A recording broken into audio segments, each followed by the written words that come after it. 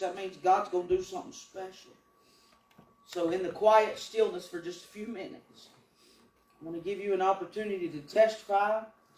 I want to give the Lord ample opportunity to do whatever He wants to do in this place tonight. So, we're going to wait on God for a minute.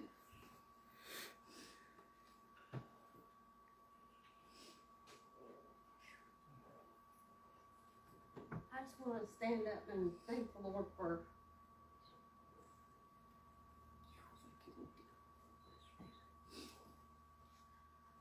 for putting me in my place when I need to be put in my place. Showing His love, because to me that's if He didn't care about us, He wouldn't get a hold of us and jerk us back in line. And I just pray that He never stops yanking me back in line. I just pray that He never stops taking me out to the woodshed, giving me a good whooping when I need to. I just pray that He always keeps His hand on me and disciplines me when I need to be. Because I know that shows me that He loves me. Amen. And I want to thank Him too for giving me a husband that I have. Because on some things I want to go right, and he says no. That's not the way to be. And he kept me like that.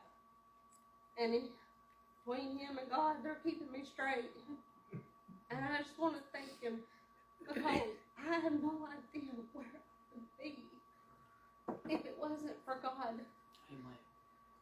or where I would end up if it wasn't for the husband that he sent my way and allowing me, allowing me, all the women that he has created, allowing me to have the privilege to marry a man that will has pulled me. And I know it's shame to say, but there's been times where I'm like, I just don't feel like going to church. And he's like, no, come on, come on. And he pulled me in here. And I'm thankful for that. Amen. I am thankful for that. I just want to thank the Lord for His um, His grace and His mercy that He gives us each day. You. Know, He's never failed us. Look at all the times that we let Him down. But through all the sins that we commit and all, His grace and mercy covers them all. Amen. So I just want to thank Him for that. Thank you for saving me. I want to thank Him that I have a pastor that we go and go and go. we always going somewhere, going to a revival, supporting the other mm-hmm. churches. So anytime y'all get a chance to go support another church, do that. They need it, just like we need it. Look at all the support we got last night. Even though it wasn't a church function, it's like a revival type thing. Community came out and supported us, Yeah. Uh, and they do know we're here. So uh, anyway, I just want to thank the Lord for those things. I just gotta say, I just wanna thank God as I've been practicing and singing that song. When you're going through the fire, you don't realize what blessing you're gonna get from it. And I went through a lot of fires in my life, but God put me right where He wanted me to be. And He's done so much in my life the last few years, and I just wanna thank Him and praise Him for never giving up on me. Thank my family for never giving up on me. Thank my church keep praying for me no matter what I did and where I went y'all's prayers were answered. And I just want to thank God that no matter what I've done or did in my life, He put me where I needed to be. He scolded me. He, he done what needed to be done to get me where He wanted me. And I, feel, I know that I'm where I'm at now because God put me through that fire.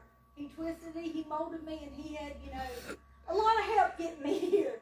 But you know what? I just want to thank Him and praise Him for what He's doing and what He's going to continue to do in my life, not only my life, in this church's life, I can see a huge, huge, huge growth here, and I just want to thank God for y'all, for the faithful ones, for the ones that come and that do and participate. I mean, y'all just don't know. It, it is a blessing, not just to me, but know, last night I got the biggest blessing.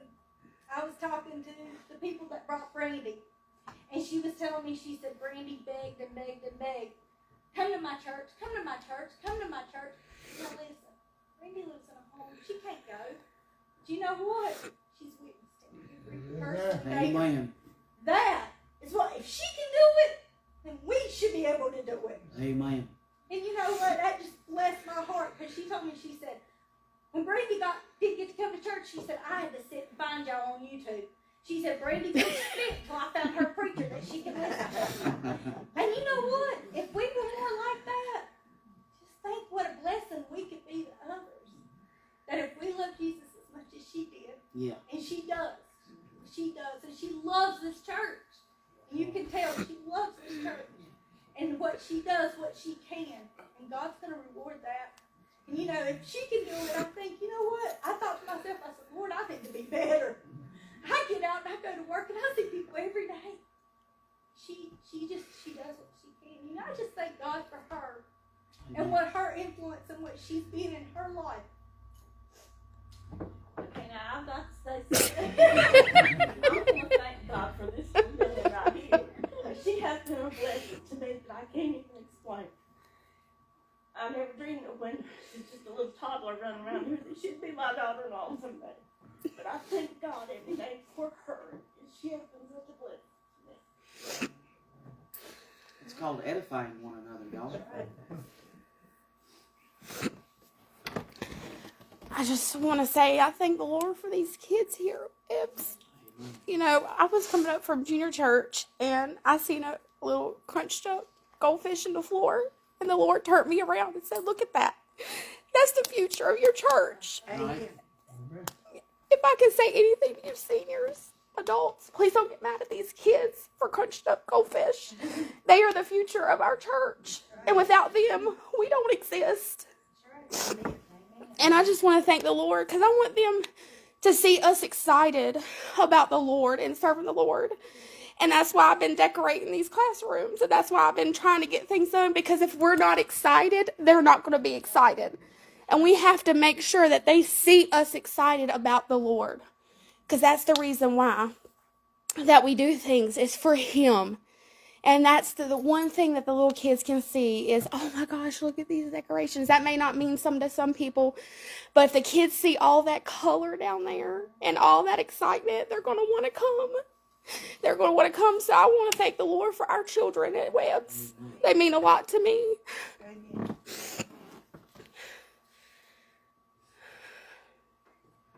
I'll speak on what April was talking about.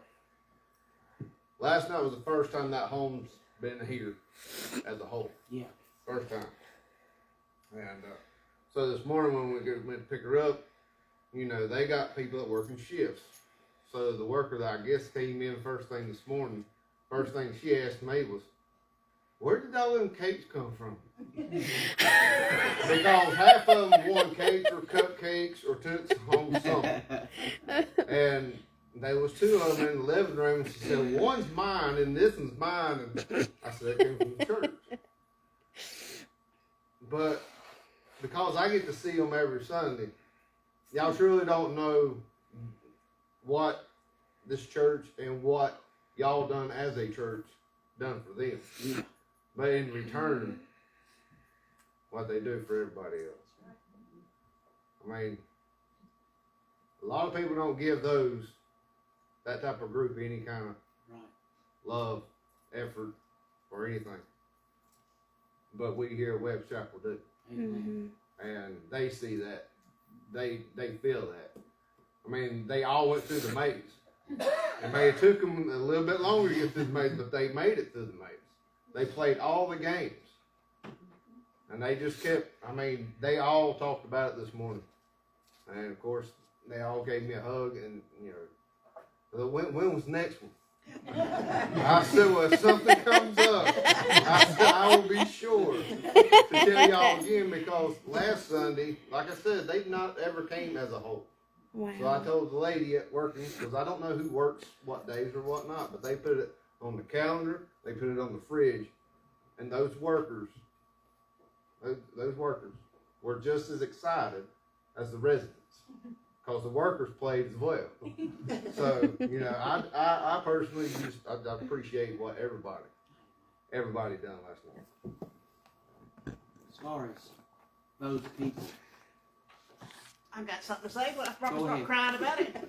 we, we got a loving church here. Sometimes we have some grumbles we grumble about, but we do have a loving church here, and we care about. Y'all have loved me. This month makes ten years, and I appreciate coming to this church and y'all showing me love.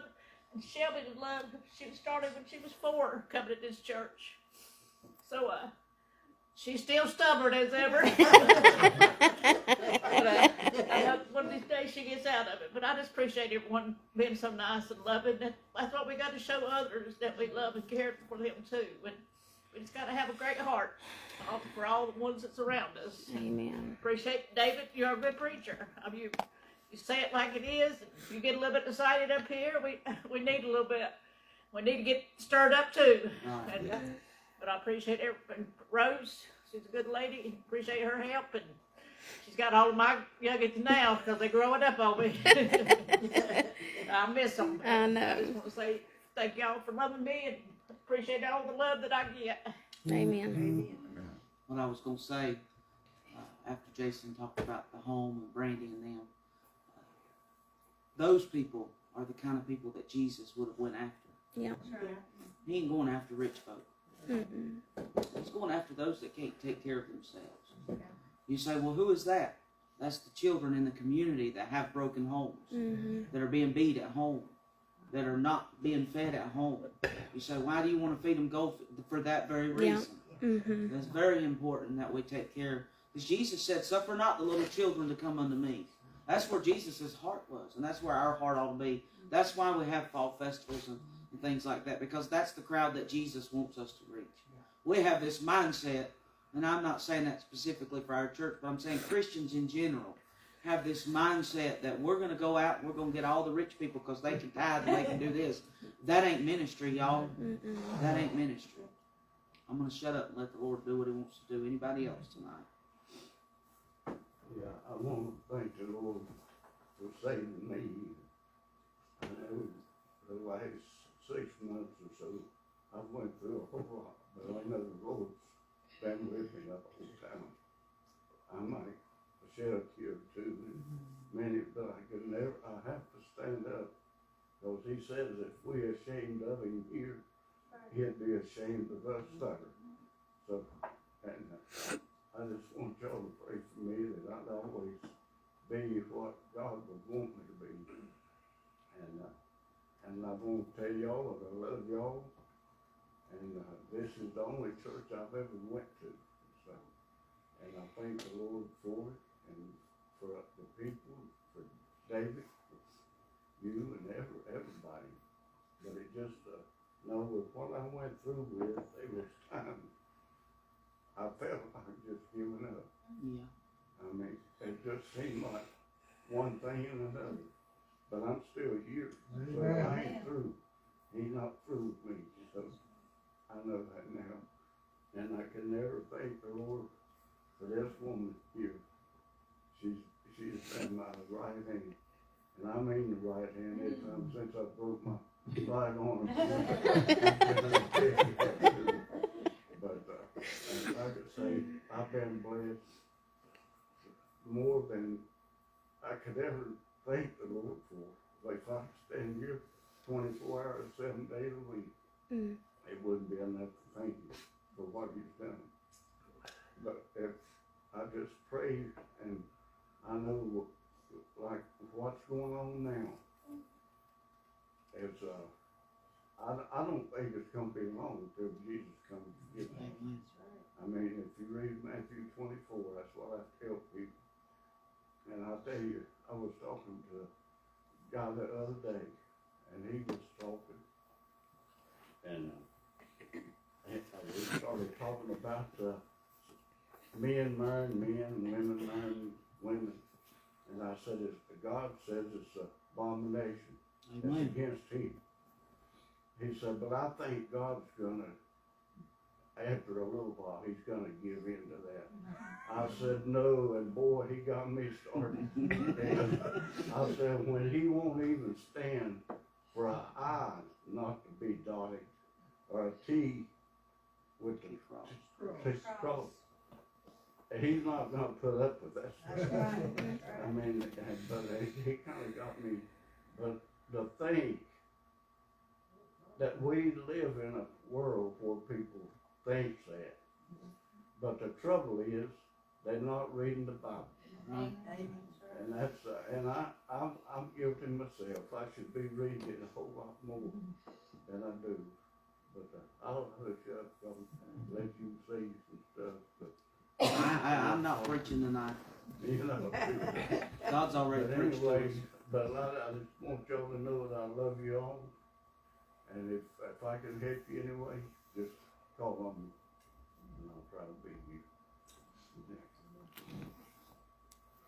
Anybody else tonight? Hold on, Miss Merle's Miss hand. Oh, okay. I'll wait Well, for to talk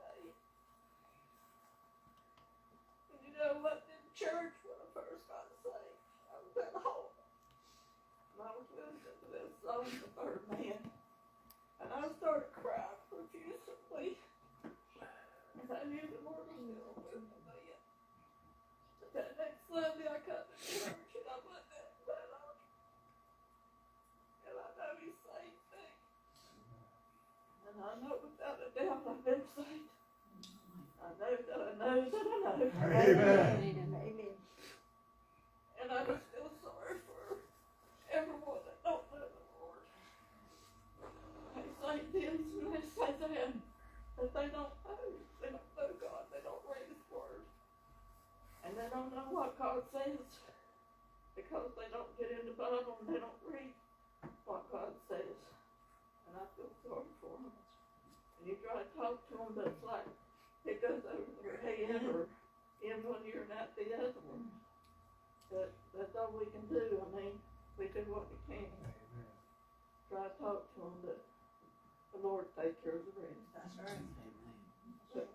I just thank the Lord for all of y'all. And I love each and every one of you. Amen. And I know me and Clyde, we've been going through it here. I just left one months.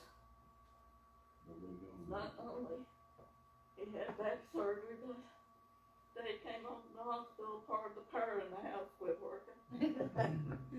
and it's still not working.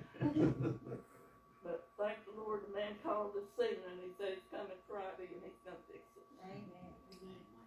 So it's gonna be fixed. I know we've had to improvise to have uh, lights in our bathroom and stuff, but the Lord made a way. He put it in my head what to do. so we could have lights. It's been a long haul, especially with his arm. It's been worse than the back surgery. And I've had to get out and do what he was doing.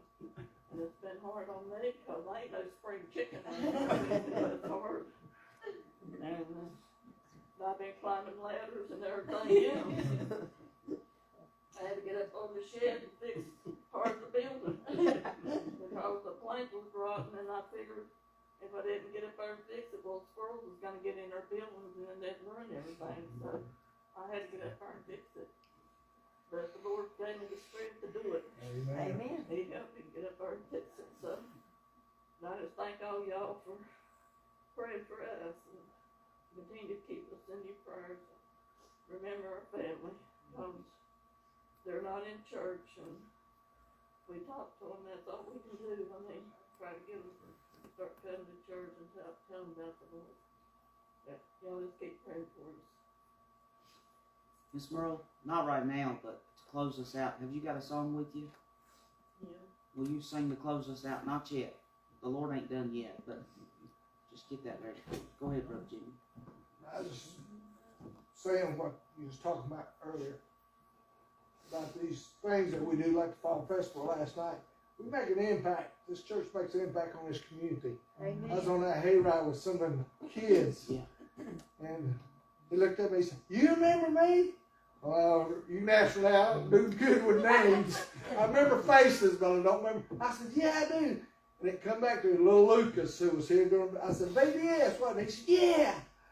And uh, you know, I thought, you know, we don't see them like that. We don't Right. see them light on Sunday, but we're still reaching them, and they remember. Yeah. They will remember us, and when we don't remember them, so we're still giving them Jesus Amen. and reaching them to a point that they'll remember what happens here. Like I said, it may not be on Sunday, but even through these events, they will come out and be a part, and they remember it. And so, you know, like I said, that's the ones God reaches. I believe from these broken homes and you know from these ones that you know not the perfect household or whatever. God still loves them and He wants them. Amen. What it is. And I just want to let, let you know we are doing something out there in this community. That's it. Bella and Jackson that got saved during vacation Bible school, they were running around yesterday out there too. There they run up to me and they said, Hey preacher, how are you? And I said, Bella and Jackson, good to see y'all. We went and visited them right after they come and for two or three weeks straight. and They Mhm. haven't come, but they were here yesterday. God knows God knows the need there. That's right. I'll tell you one thing that I'm praying for. This ain't argument, argument. I'm just telling you what I'm praying for. If y'all want to pray with me, those of you that want it, I've been praying that the Lord will give us a free van. That's Yeah. what I want. We're gonna take that free van. And I would like to go out in the community and pick boys and girls up, bring them into church. Free van, I said. God can do it. That's Amen. right. God can do it. If it's free, we ain't got to vote on it anyway. Amen. So, free van's what I'm specifically praying for. A nice free van. Mm-hmm. Y'all pray pray with me on that. Anybody else got a word on the heart? I'd like to thank the Lord for saving me. He right there, right outside of that door right there. Right, wasn't on this church in, Granny Welton, the pastor. And I thank the Lord every day for it. And, uh, if anybody needs any work done around the house, Merle, you don't need to be on that shed. Mow your grass or wash dishes, I'll send Shirley right over. oh wow! you go, bud. Very hard is like a medicine.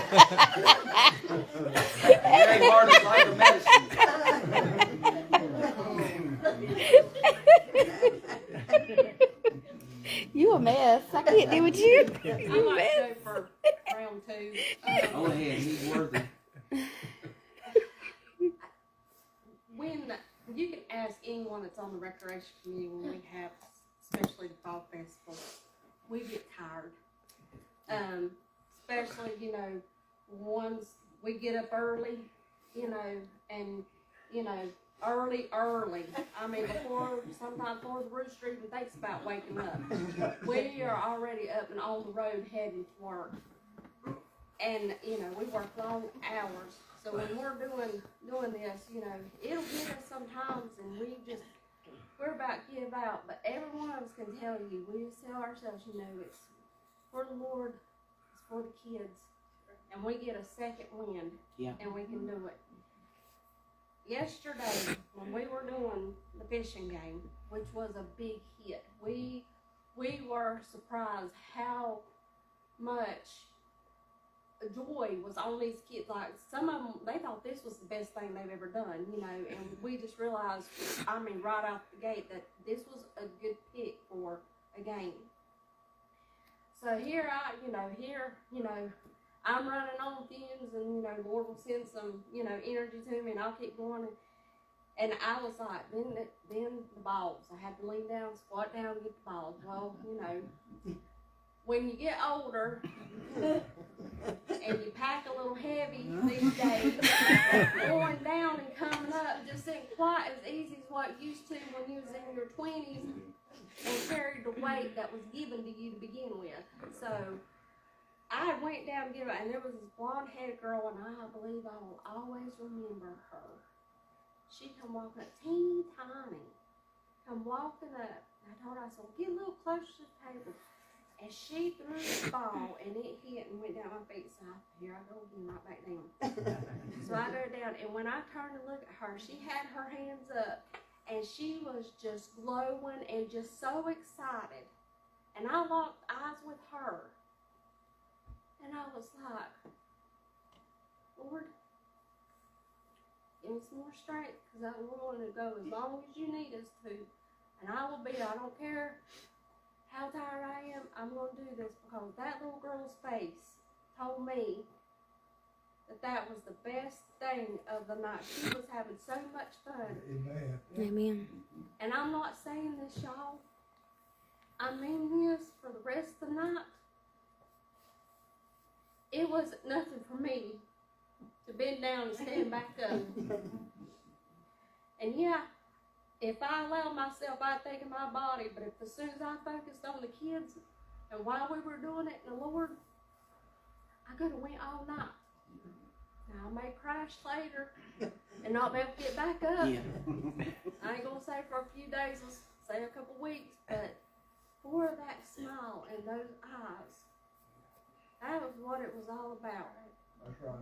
And I'm I'm not a I'm not a kid person like Jason. We can be out and about, and I can be in front of him, and the kid will literally lean sideways to look around me to look at Jason because they know I'm not fun. I'm not fun. I will make you mine.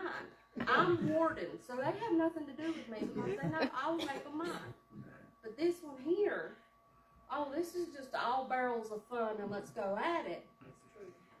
But this little girl looked at me and I was thought to myself, thank you, Lord, for allowing me to have that moment with her. And I don't know, she may never ever remember me. I know them eyes and that smile I will always remember. And you can't tell me that that was not a blessing from God. I would like to say something about Jason too. I saw him come through that door this morning, Brendan. So sweet and kind to her. Got her, he didn't just open the door and let her in and come on back here. I received it, came back and got her a bulletin. He really takes care of her. And I think that's a blessing. Amen. And also, our table last night saw the same thing that she saw. The man that comes here, the, I don't know his name, he had dark hair, he's got the one daughter. Uh, Jenny Bus, Bus, uh, Johnny Bustler. right. Yeah. She, she was just like that, she was so excited with that. Abigail, She was yeah. put, put there, oh, mercy, you should have seen her. And they were as happy as she was. Yeah. Oh, yeah. Miss Jean, did you see Miss Linda? You know the one we visited? She came to the fall festival. I seen her doing a cakewalk. I said, Miss Linda, you know we went to go visit her like three times. She did. She came. She brought the grandbabies. I Yeah. didn't get to see her. Uh huh. I got to see her, and I, I knew it was the Lord working that one out. Yeah. Going soul winning, I'm telling you, it makes a difference. Inviting people and being persistent. Just because you get a no the first time, don't mean you get a no a second time. It's persistency is what counts. Yeah, I'm glad she came. she did. She had fun too. Uh huh. Anybody else? tonight? I'd like to thank everybody for sharing. I wasn't here last night, but it was such a blessing to hear all of you. So when the Lord lays it on your heart to say something, go ahead and say it because it'll be a blessing to somebody else. To share your blessings with other people. And I thank God for the ones that will stand up for Jesus. Amen. Anybody else? I think the kids like the donuts, just pulling them off the string. I Jimmy said he's gonna try that for Sunday school. So smile. Jeannie will tell you. We had to hold the string for them because it was so young. And they were on chairs. And we would hold it just for them to bite it off. And they'd get one side bit and they said, no hands. The other side would fall off on the ground. They'd be like, like, wow, like, our donut's gone. Five second rule. Yeah, right. We say, touch it, grab it with your hand, grab it with your hand. Miss Merle, you go ahead and get ready. And when she's getting ready, anybody else tonight got a word on their heart as she's walking up here? Preacher, I challenge everybody in the church to count your blessings. Count them one by one. You'll be counting them till you go to your grave. Amen. Amen. He has blessed us all. Yeah. in a mighty, mighty way. Yeah. They bless people here at Webb Chapel Church, and we take it for granted. Yeah. But he is in charge of everything. Yeah. I'm not in charge. The preacher's not in charge. Right. Jimmy's not in charge. God Almighty's in charge. Amen. Amen. That's good, Johnny. Amen. Amen. And uh, That's right. I just challenge everybody to go to count your blessings. You, you, you won't go to sleep tonight. Amen. All right, Miss Mary, will you sing for us?